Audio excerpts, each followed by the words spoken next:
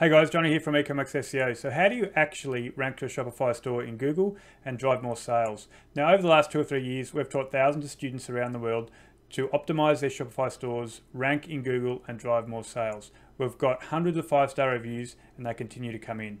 Now on the back of the success of those courses, we've decided to release Shopify X SEO version 2. It's completely updated, both on-page and off-page strategies, and it's an absolute monster. Now you may have heard that Shopify stores don't rank very well in Google, and that can be true if you don't optimize them correctly. Shopify has some inherent problems that need to be dealt with, and we've worked out the best possible way to deal with those structural issues and then implement our other strategies to drive organic traffic. Okay, now let's go and jump into the course and have a look what's inside. So initially we're going to talk about the advantages and disadvantages of uh, Shopify for SEO and what some of the limitations are and how to deal with them. We'll look at a little bit of the SEO mindset. We'll work through some of the tools that we use every day to help our processes. And then we get into the meat of the course, which is our on-page SEO. And we look at our keyword research and all our domains considerations. We look at themes and apps and apps we recommend. There's also some pretty cool uh, offers and discounts that app developers have allowed us to use. So you can get into some great apps very cheaply. We then look at our data and how we deal with our data. So looking at Google Search Console analytics and how we use other tools to audit our own sites and competitor sites. We continue through our on-page optimization and get into the actual implementation on our pages. So our homepage, collection pages, product pages, blog posts, and other page considerations. Um, we've got a couple of videos on optimizing images, which is really important. Uh, if you're new to code, it can be very overwhelming. So we look at um, some basic coding setup for Shopify and we teach you how to do that. We look at an internal and canonical link considerations, which is really important.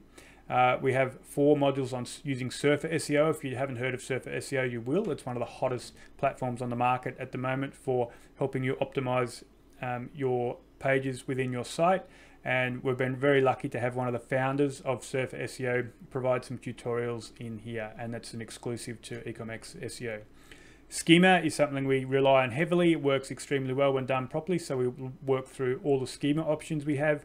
AMP, which is lightning fast mobile pages, and then we get into the off-page optimization. This is where the rubber meets the road and we really start to get traction.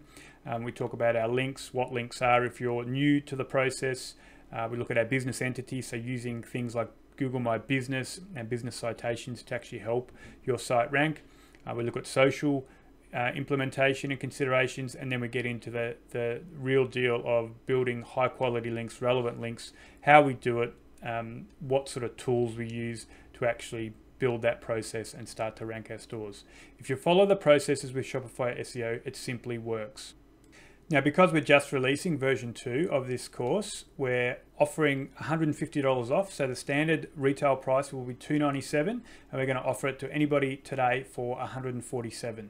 So if you want to learn how to rank your Shopify stores in Google and not have to pay an agency thousands of dollars a month, you can just click the button below, head on over to the cart page and you'll get access to this course.